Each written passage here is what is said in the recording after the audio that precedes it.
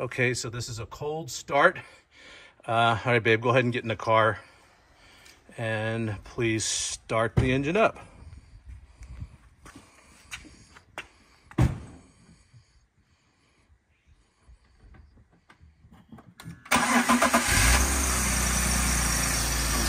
All right, there it is.